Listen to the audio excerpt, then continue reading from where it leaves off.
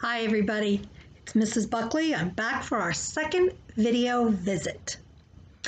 I have been thinking about school a lot because I miss you guys so much.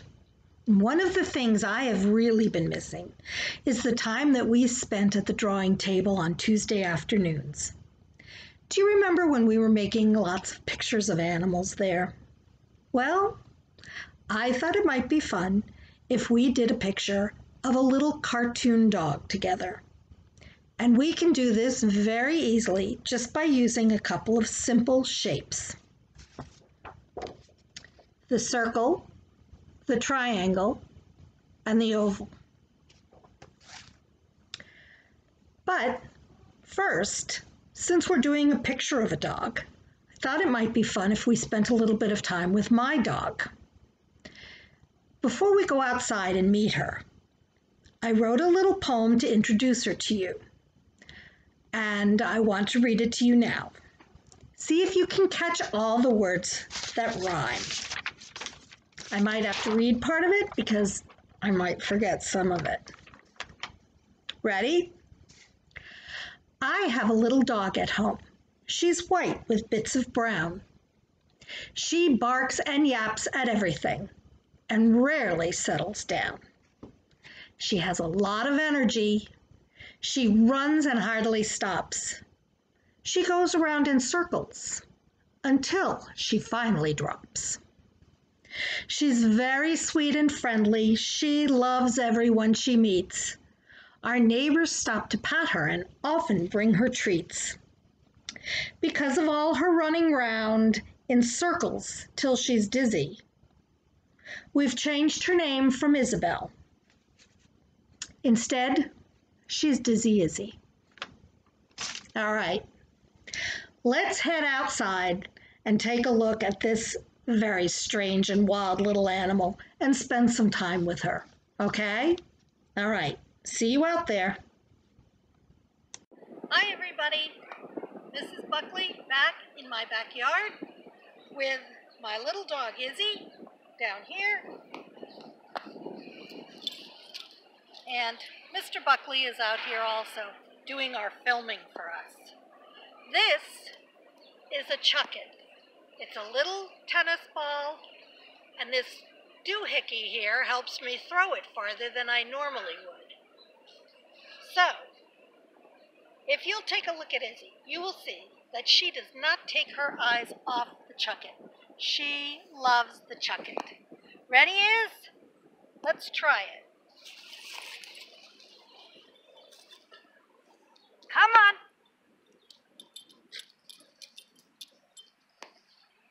Good job, Iz. Let's go again. Ready?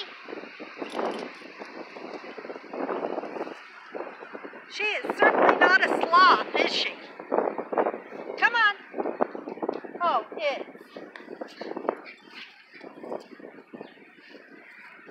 She can be very speedy.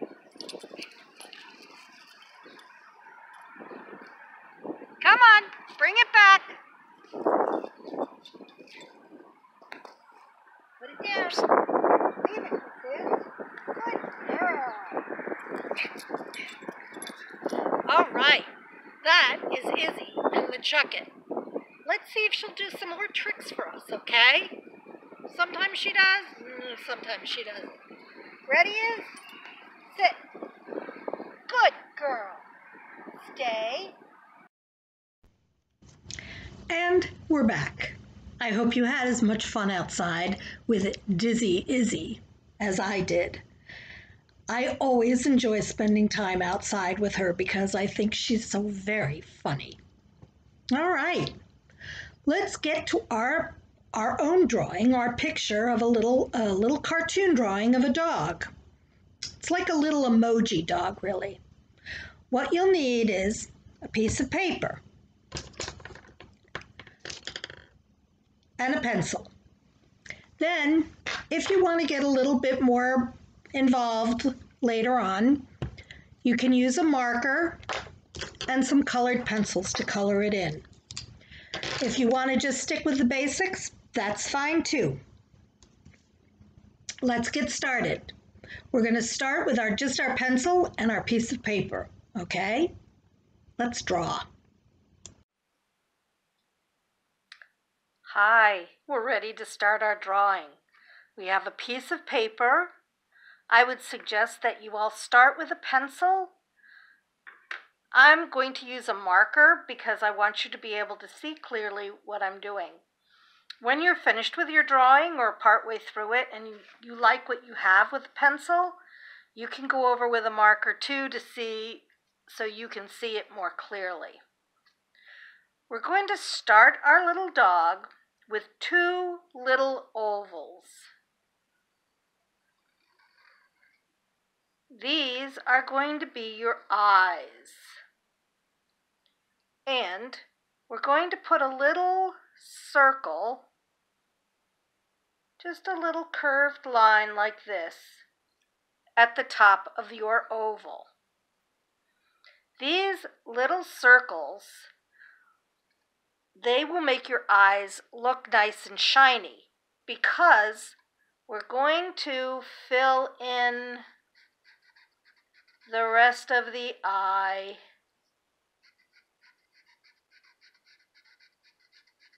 Like this.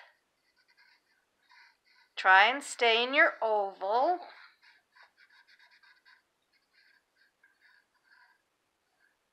There we go. Now, between the two eyes, we're going to take and use just the bottom part of a triangle. So it's going to be like a V. Two lines that come to a point and then another line going up like that.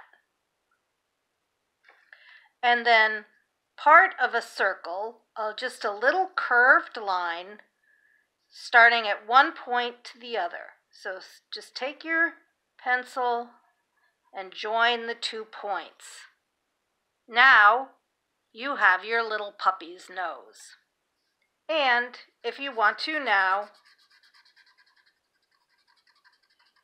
you can color that in. Remember, things do not have to be perfect, and you can make changes this is going to be a good drawing, even if it's not exactly the same as my drawing. Your drawing will be just as good. Now, our next step is that we are going to make a little tiny mouth. So we're going to put a little curved line from the bottom of the doggy's nose, just like that. How about, hmm, a little tongue coming out? For this, we're going to use a half of an oval. Now remember, your eyes were ovals, right? So you're going to start about halfway down the puppy's little uh, mouth line, and we're just going to do a half of an oval. So we're going to come down, we're going to go around, and come back up and you have your puppy's tongue. All right. Another thing to remember, children, if you find that you need more time in between these steps to do them, for instance, when you're filling in your eyes or your nose, or for any reason, if you need more time, you can pause the video, do what you need to do, and then start it up again. All right? No problem there. Now we're going to work with a bunch of half circles, all right, or part circles. So we're going to go like we would if we were making a whole circle, but we're just going to stop short. So we're going to come over here to about the middle of the eye and straight across, and it doesn't have to be exact. And we're going to make a big curved part circle, just like that. That's the top of the head. We're going to do this a couple of more times too. This dog is going to have very chubby little cheeks. So we're going to go back to where we started our head and we're going to make another part circle a big curved line that comes out like this. And we're going to do the same thing on the other side. All right. Now you can see mine are not exact either, but I like those chubby little cheeks.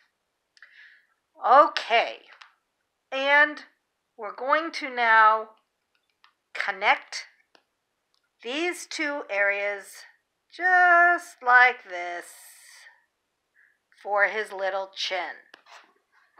Nice job. Now we have a big head with big cheeks. We have two eyes, we have a nose, we have a mouth. What else does this puppy need? I know. Let's give him a nice big spot, a circle around one eye. Oh, he looks cute now. I love it. Finally, we need this dog to be able to hear. Let's give him some ears. Here we go. Start about at the top of the eye and just make another one of these big curvy lines. Curve, curve, curve, curve down here. And we're going to do the same thing again on the other side because we want our dog to have two ears, don't we? Let's start about here and make a big curve, curve, curve, curve, twirl it back in here. All right. I'm loving the way this little dog looks. Let's put a little color in, finishing touch, and see how it goes. We're going to give him a little brown spot around his eye. And you can color in better than this. I just want to give you an idea of what it can look like. And you, of course, can do this differently. If you want a purple dog, or a pink dog, a psychedelic dog with bright colors, or if you don't much enjoy coloring and you just want to leave it like a big cartoon, you can do that too. So his ears are going to be brown, I think. I think I like this because these are the same colors that Izzy has. So I kind of like my dog to be that way too. And you see how the eyes look nice and shiny because we left that little circle? Now I'm going to take my pink pencil and give his tongue a little color. And voila! That's my little emoji dog. What do you think? Well, that was a lot of fun. I hope you enjoyed it as much as I did. I'm sure your drawings are adorable. Keep practicing, keep playing, keep safe. It's about all the time we have for this visit. Can't wait to come back and see you again pretty soon. This is Izzy and I signing off. Bye.